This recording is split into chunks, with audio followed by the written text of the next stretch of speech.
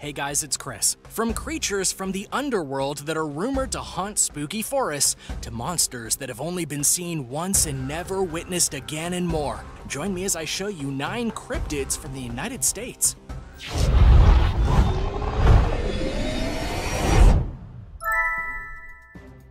Number 9. Jersey Devil. In the Pine Barrens of New Jersey, there was a woman named Jane Mother Leeds. Leeds had given birth to many children, and one night she was giving birth to what would be her 13th. But unlike most, the birth didn't please her, so she decided to make some sort of occult prayer. Let this one be the devil. According to the legend, that's exactly what happened. Upon its birth, the baby grew horns, wings, and a tail. It flew up the chimney of her house and went out into the world. This is the origin story of the cryptid known as the Jersey Devil.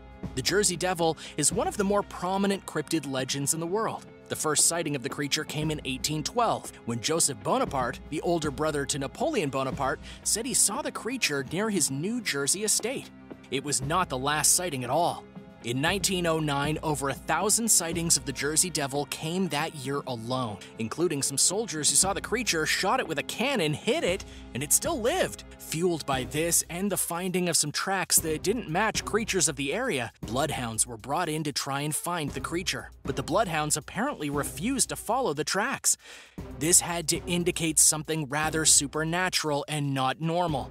If this were a bear or a large mountain lion, dogs would almost certainly chase after it. The sightings still didn't end there.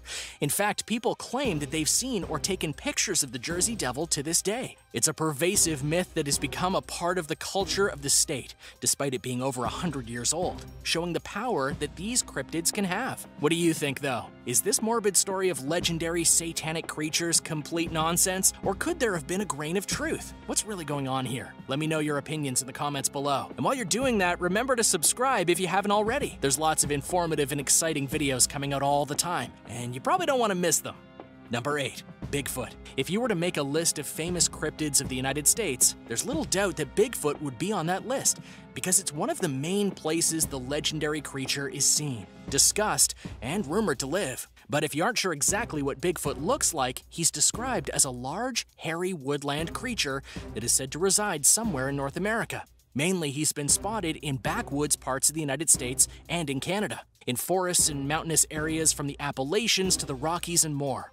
What makes Bigfoot such a compelling legend is that people often describe him the same way. What's more, the way that they describe him is clearly different from all other primates out there and humans too. That's why it's such a persistent legend and story. If so many have seen him, it makes no sense for this creature not to be real. Bigfoot is tall, has lots of hair, walks like a human, and yet he's not a human. Thus why it's easy to identify if you see one.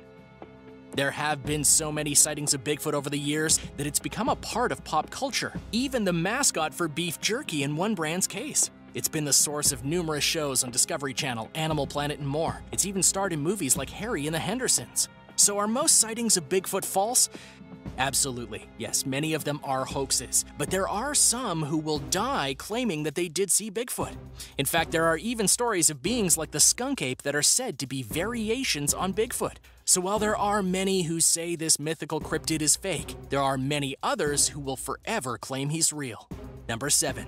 Wendigo most famous for its Native American telling, the Wendigo is a monster that is not born from a god or a fusion of creatures, but from man itself, though there are several ways for it to be born. Sometimes the Wendigo could be born when a spirit inhabited the body of a man and caused them to become quite monstrous in their demeanor and mind. Different incarnations have a man or a woman becoming so desperate that they would result in cannibalism, and the very act of that would turn them into monsters that would be ravenous with hunger. Its appearance has taken various shapes, but it's known for having tight skin over its entire body, bloody lips, and a gaunt figure that is almost always hungry and looking for food. Wendigos have become a key part of mythology for the Native American people, and they've been used in various other media, including being in the second episode of Supernatural, where it would attack campers and use them for a meal. That's an episode I just watched a few days ago. Number 6. The Flatwoods Monster on September 12, 1952, in West Virginia, a sighting of a very unique cryptid took place. It all started with a fireball that came from the sky, and this fireball was visible not just in one place, but all over the nation. Confirmed reports of it came from California all the way up to West Virginia, making this a documented part of history. What comes next, though, might be up for interpretation. Edward and Fred May, who were in West Virginia, saw the fireball, and then they realized it crashed on a nearby farm. They took their friend, their mother, and a neighbor and went to the crash site. There was an odd mist at the site, and a metallic sound of sorts was filling the air. They went in closer to investigate when suddenly a pair of red eyes looked at them through the mist. It was then that they saw the creature in its full form. The creature was 10 feet tall and had a glowing green body. The creature hissed at them and started to approach, which led to them fleeing for their lives. They told others what happened, and the people of the small town went to look for it, but they found nothing. There were some remains and deposits that definitely teased that something was out there, but what? It's unknown, and being that the creature was never seen again, it's likely to never be truly known. But whether by delusion, an illusion, or something in between, there was something in those woods that night. The Flatwoods Monster remains one of the more unique cryptid stories ever told, and in fact, it was used as part of the History Channel series Project Blue Book, recounting the events and revealing the truth behind the monster. If there is any element of truth, that is. Number 5. Thunderbirds. While many cryptids are land based creatures, there are a few that have taken to the skies and inspired many tales. And one is called the Thunderbird. According to legend, it's a mythical bird that was so huge that it could grip something as large as a whale in its talons. Adding to its power, it was also responsible for the thunder and lightning we see and hear in the sky. Here's the thing though, if you discount the thunder and lightning powers that were clearly mythologized, a creature like the Thunderbird could actually have lived. There have been many bones and fossils found of birds that had massive wingspans, including ones that could possibly have captured large fish and carried them across the sky. Now, to be fair, there are accounts of these thunderbirds honestly being real, including accounts of attacks in the Great Lakes area, such as Illinois, where one picked up a child and almost took it away before the mother came and got the massive bird to leave them alone. So, regardless of whether it's Native American folklore or something more straightforward in nature, these particular cryptids might have an element of truth to their stories. What do you think? Could there have been some prehistoric bird that did carry away large animals? A legend like that could easily pass down through generations over thousands of years. Let me know what you think in the comments section below. Number 4. The Monsters of Crater Lake National Park. In Oregon, there's a supernatural place called Crater Lake National Park. And despite its having a lake that is known for the purity of its water, there are many ghosts and monster stories surrounding both the lake and the park itself. One example is when a tourist named Mrs. Maddie Hatcher was on a rowboat with her friends on the lake and randomly decided to look down. When she did, she saw something really big swimming underneath the boat. That thing must have been a block long, Mrs. Hatcher told a reporter for the Fort Myers News Star in May of 2002. To me, it looked like a dragon. They went to shore immediately and told people what they saw, but no one believed them. One of the attendants to the park, Ranger Jan Kerwan, has noted many times that he's seen fires emerging from the nearby Wizard Island. Yet when they go to check on it and see what's going on, there's no one there. And there's no trace of the fires that he saw. Many other tales haunt this place too, including one of a particular haunted tree trunk that has floated in the lake for over a hundred years, that if disturbed will cause the weather to shift and become stormy and dangerous. Native American legends tell tales of ancient brothers who fought and died on the lake, but their spirits remain. This is not your typical cryptid tale, but then again, is there such a thing as a typical cryptid tale? Number 3. Boggy Creek Monsters there is a legend in a rural city of Arkansas of a pair of creatures called the Boggy Creek Monsters, or the Fouke Monsters, and the legend is so prevalent in the culture of the United States that it actually spawned two different drive in movies. That's the power of cryptid tales. According to the story in 1971, a pair of seven foot tall creatures came out of the swamplands in Arkansas and walked around until they found a family cottage in the backwoods of the area. The creature then proceeded to attack the house and try to get at the family inside.